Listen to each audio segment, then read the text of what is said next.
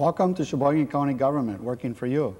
This month, in our look through county government in Sheboygan County, we are uh, going to focus on the Sheriff's Department. And with us today, we have Sheriff Loni Koenig. And uh, in our half hour discussion today, we're going to look at the different uh, aspects of, of the Sheriff's Department and uh, the responsibilities of the Sheriff. So, Loni, maybe we could start out uh, today by just giving us a little background about yourself and when you first became Sheriff.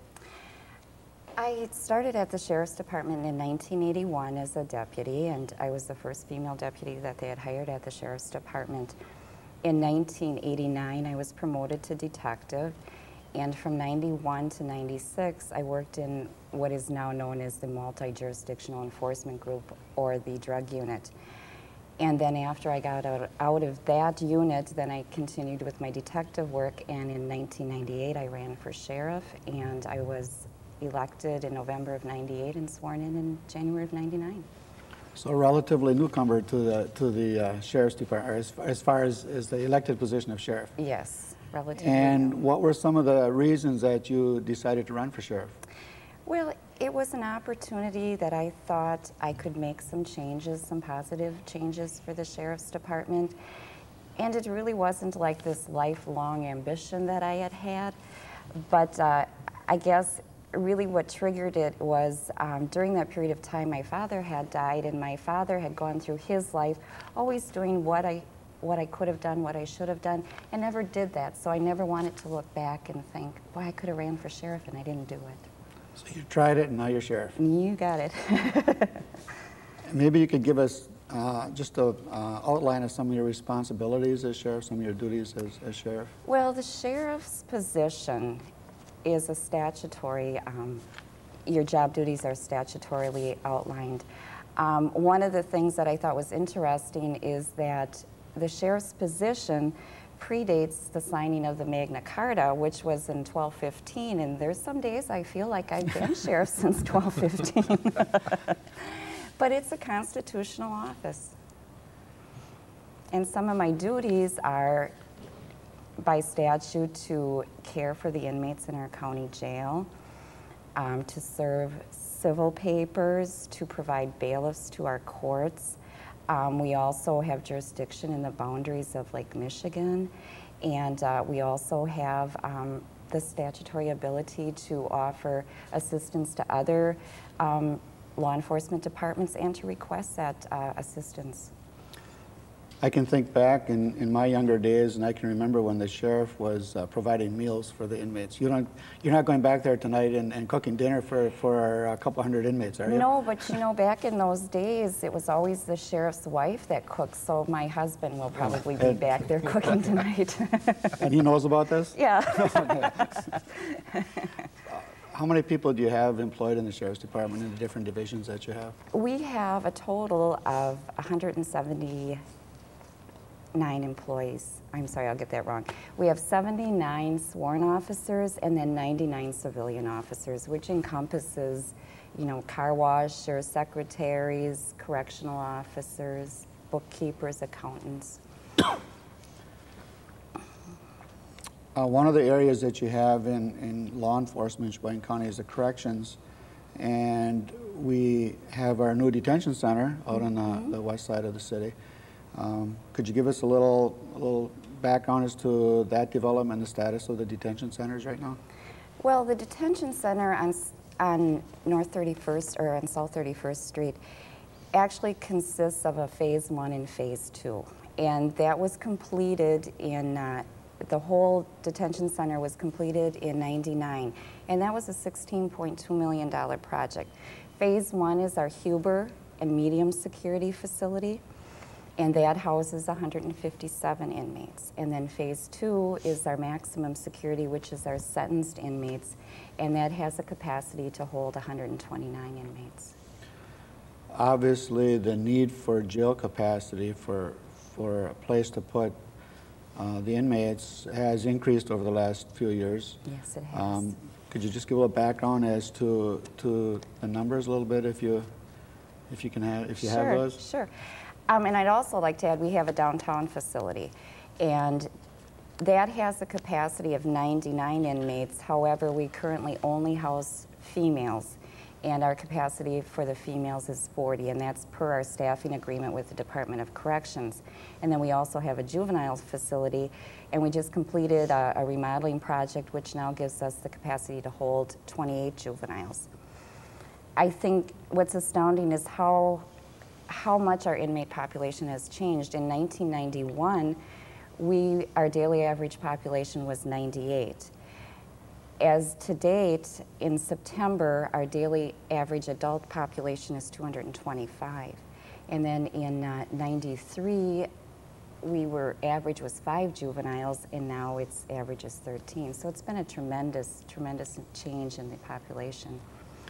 I can remember back uh, before we built phase one and phase two of the detention center, we were housing inmates in other counties because of, of the overflow. We were, we were uh, bulging at the seams yes. in our in our original facility, and I'm assuming now that that we are not doing that anymore because of phase one and two. Has ha, have the tables turned a little bit where now we have the ability to house inmates from other counties? Yes. Um, in '98, we were still boarding out because the detention center wasn't complete. Between the adults and the juveniles, we were the cost of boarding out was approximately $1.4 million. Now, because we have room, we're boarding from other counties, and to date, we've been able to generate a revenue of approximately 249,000 this year, in the year 2000. So we went from spending over $1 million a year to generating revenues, income yes. of, of a quarter, quarter of a million. Mm, yes. Um, how close are we? I know we, we can project how many inmates we have and, and, and where we're going with those numbers, but even with the inmates that we're housing from other counties, we still are not at capacity for, for the facilities that we have right now? No, we're not at capacity. So we have some room yet for, for the next few years as far as, as I don't want to say growth, but for, for more inmates to be housed? we welcome anybody that wants to stay at the county jail. For as long as they want yes. I know it was my uh, first or second week on the job in January of 1999, and, and the sheriff uh, gave me a, a, tour of the detention center, and it is just a tremendous facility. The yes, people working there are, do, are doing an outstanding job. You've touched on your roles and responsibilities with the detention center. What about the area of civil process, that division? Now, besides civil process, that is a statutory um, requirement of the sheriff, they serve all types of civil and criminal papers.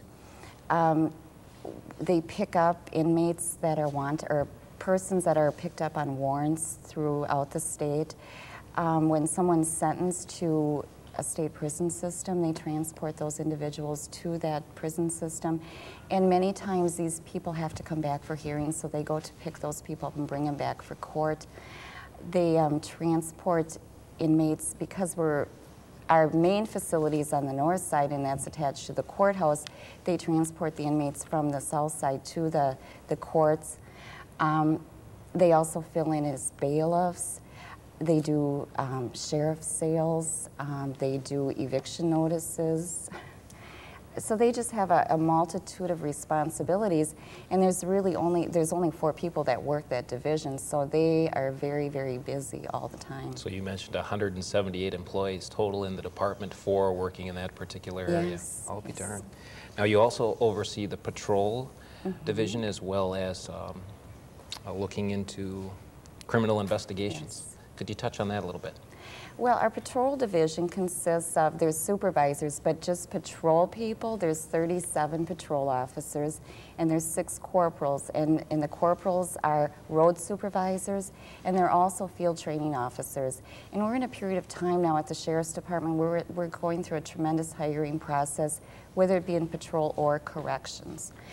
Um, the patrol officers, besides issuing citations, which is obviously what they're mostly known for because it's not always a positive experience, but they, um, they write accidents and they are the initial officer at all complaints.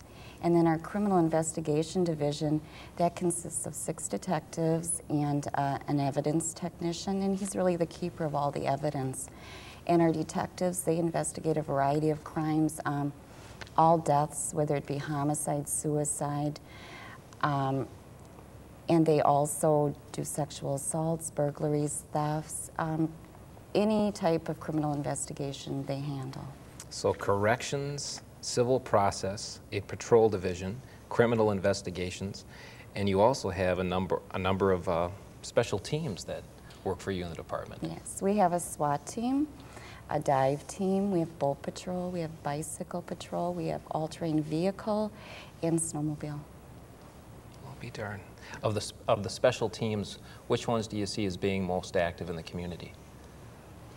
Or is it about the same throughout? Well, you know, obviously the snowmobile patrol, that's a seasonal. The all-terrain vehicle, that's basically to get to places that are hard to get to by vehicle. Like, um, I recall not too many years ago where there was a child lost up in Parnell area, and they went out to search.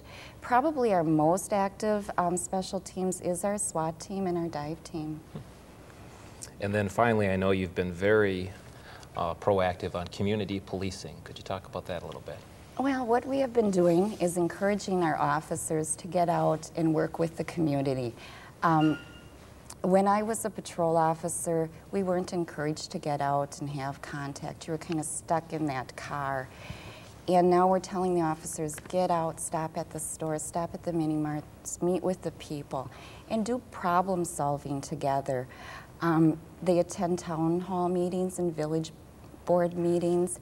Um, we have our officers assigned to a specific area for long term so that they get to know their area and they get to know the people in the area, which once people get to know the officers, they're more apt to come to them when they have problems or whether they have information.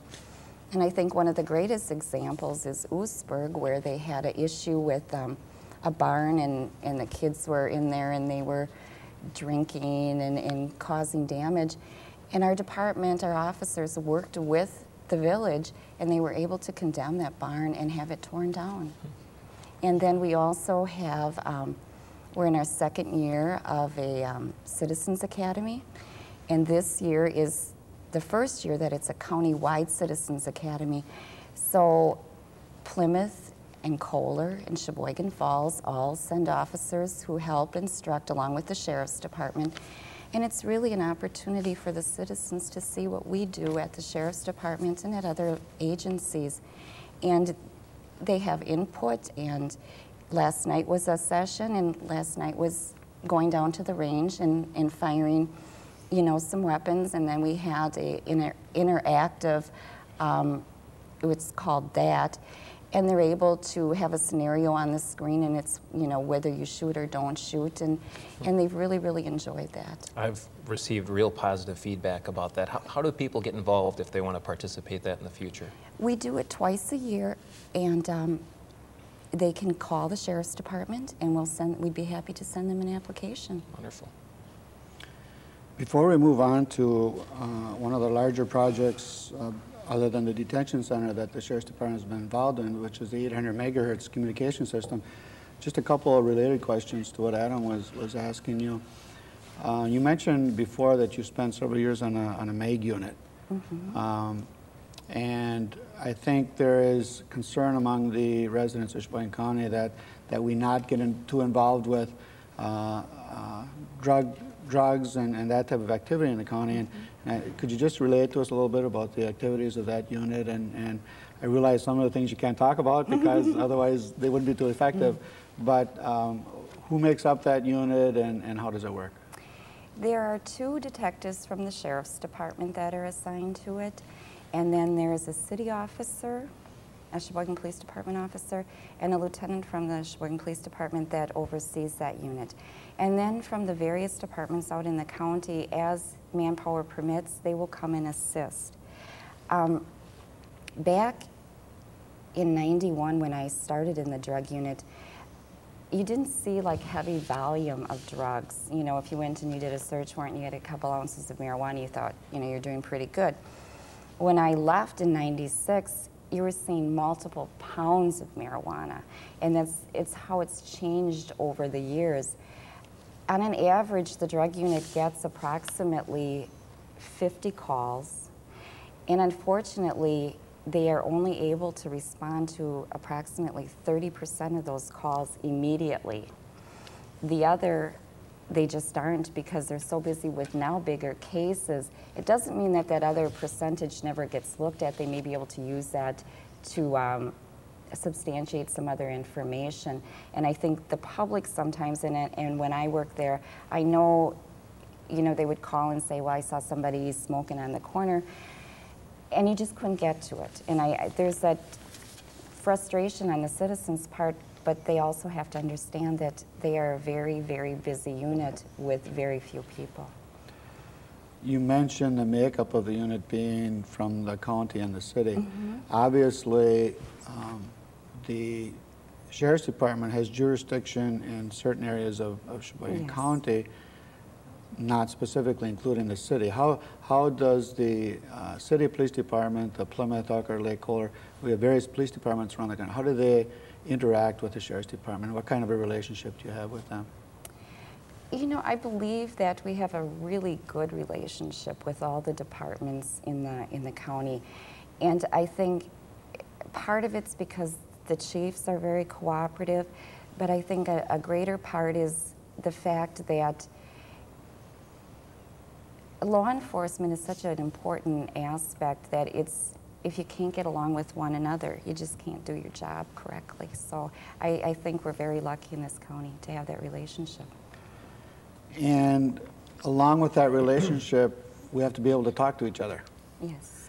Uh, right now, we Here have a we we, we have we have a project uh, that that we're in the midst of, and it's called the 800 megahertz Yes. project. Could you just give us? And, and we don't have a lot of time, and we could probably spend uh, one or two shows just talking about all the detail that goes into a project like this, and we don't have that time. But just just a sketch of, of what this project entails. Well, the 800 megahertz project is a six-site, five-tower project. It's a simulcast trunk system, and for people that don't are not say, let's, techie let's, people let- let's, like let's, me, Let's, let's, let's describe it for me now. it's what the system's going to do is give us the ability to have more channels for people to be able to communicate with each other um, better. Um, in our current system, which is very antiquated now, um, we have times when it's difficult to communicate with each other. So this really is going to give the, us that ability to do that. And the project involves uh, not only the, the towers and the infrastructure, but also the equipment? Yes, and there's approximately 54 different um, agencies, if you will, that are involved in this, from police to fire to the Sheboygan Transit, DPW, um, and that's for, you know, ambulance. So there's a variety of users in this project. So everybody that, so basically everybody that needs to communicate through 911 calls or, or responding to emergencies we'll be able to communicate on the same system with the same equipment and? Correct. Okay. Yes. Very good. And I know you don't do a, a, I believe you said $8 million project in one month because it's hard to spend that kind of money in one month. But what is the status of the project right now and, and when do we look for completion of the project? Well, one of the biggest issues in the project was the inventory of the radios. And when you have that many different entities involved in a project, it's always hard to get everybody to, disag- to agree. And so finally, after a, a lot of gnashing of teeth, that inventory has been complete. And, and I have to say that although there were some trying times, I think everybody worked very well together on it. And with the towers, there's five towers. Um, the one on 67, we're going to be leasing space. Um, there's the Comprehensive Health Center on County Trunk V, and that will be erecting a tower. There's another tower to be placed which, on what we call the Vorpal property, which is on the southeast part of the county. And then we have Rocky Knoll, and we're going to be erecting a tower there. And then the main tower is the Taylor Hill Tower, and and that, quite honestly, is not. We're not at the end of. Um, a decision on that because we're doing some studies on the tower, whether it's feasible to put the equipment, the 800 radio uh, equipment on that tower, or whether we need to erect a new tower. So until the towers are completed, we really can't use the system or because it's based, that's the infrastructure for the system. Correct. When do we look for a completion of the project, total project? I am not going to give a specific date because I know How I about will a year? be. How how about a year? I'll be held to that. What we're hoping is sometime in June of 2000, but the testing of the equipment really depends on foliage. June and of, now, June of 2001? Yes, yes, Okay. yes. And so, since we don't have the towers up, we really can't do any testing. So, so we're looking at, at, at next year, the middle of the year sometime? Sometime is- next year, yeah, we're yeah, hopeful. okay. As you, I realize projects like this, you know, keep you busy.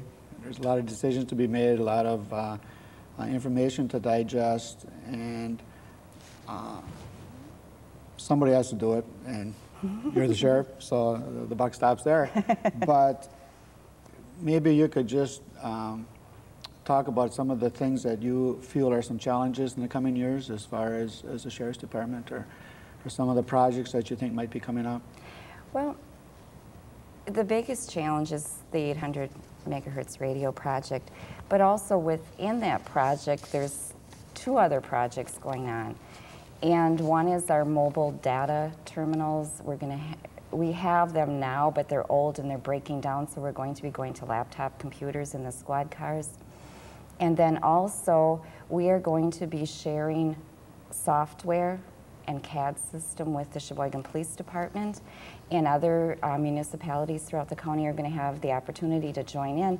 And really, what that's going to do is be able to give officers access to information from the Sheboygan Police Department or, say, from Plymouth PD, where they can access a name and they can get all that information from all departments, and it's really going to be an asset to all of our officers.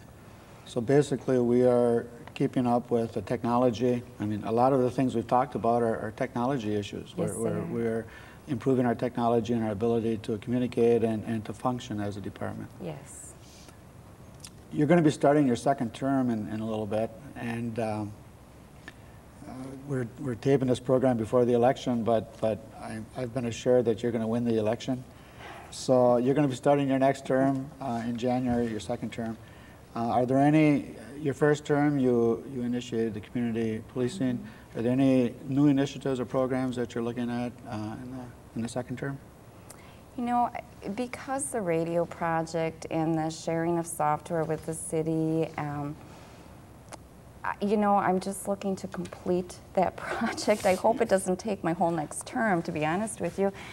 But I don't have any really huge projects. There's some things I would like to look at. Um, as far as corrections, we have the electronic electronic monitoring bracelet, which you know some of our inmates available to some of them. There's new technology out there. Um, it's a GPS system where you can track the person. I'm looking at that, but I'm not willing to take that on right now until we get the radio project resolved. We talked a little bit before about uh, the drug unit, the MEG unit, and um, the higher incidence of, of, of the amount of drugs that you're, that you're finding. Obviously, Sheboygan County has been uh, identified as, as a good place to raise a family and a good place to live. And, and one of the things that gives us that ranking is, is a good uh, sheriff's department, good city police department. Is, in, in your viewpoint, is Sheboygan County a safe place to live? Is, is it a good, do you agree with that, that status? That it's the safest place in. I don't know if I- it's, I don't, we don't have to be the safest, but, but, it, but, but, but are, is it a, is it a place where, where you feel comfortable with your, your uh, teenage kids out in the community in the evening and, and, you know, is, is it a safe community? I think Sheboygan County is just a great place to live. I really do. And I think part of it is the people that make up Sheboygan County. Sheboygan County's filled with people with great work ethics. And I think when you have that, that that's reflected everywhere in your community. And I feel very comfortable raising my daughter here. Well, we're almost out of time. Is there anything that we have missed in the Sheriff's Department that you'd still like to have our listeners uh, know about? Well, actually, I'd like to give a little plug to the people that work at the Sheriff's Department because even though uh, people will call and say, You're the sheriff, by, you know, you're supposed to do this, I don't go out and serve all the papers or write all the accidents. Um, the people from the car washer to the inspector, they're all very, very important people at the Sheriff's Department, and I don't ever want to lose sight of that. And, and I think some days we forget to appreciate those people. So the next time that one of us gets stopped for speeding or for a, a, a light out or something like that, we should thank that deputy for stopping us and, and, and making us aware of what we did wrong. That's right, because they're looking out for your well being. I'll, I'll try to remember that. well, thank you for being with us Well, today, thank you. Sheriff. And um, in our effort to uh, continue to bring county government to our readers, or excuse me, our listeners, um, next month we would like to highlight the highway department. Uh, we're coming upon the winter season. We, uh, you're going to start seeing the snowplows out on the road eventually, I'm sure. The salters, um, all the things that, that people like to complain about and, and say, you know, why are you getting all this salt on my car, but yet um, if you don't plow the roads, I'm not happy either. So next uh, month, we'd like to have uh, the Highway Commissioner, Roger Lanning, with us, and we'll try to discuss uh, the different departments of the highway and, and the work they do, not only in the winter, but through the fall and the spring and the summer also. Again, if you have any uh, suggestions for us uh, for this uh, TV show that we put on once a month, uh, you could reach any of us at the Administrative Coordinator's office, and the phone number for that office would be 459 3103. And we are welcome to the flood of phone calls that we're going to get, and we'd be happy to hear from you and all your suggestions for uh, our program. And we'll see you again next month with uh, Highway Commissioner, Commissioner Roger Lanning and the Highway Department. Thank you.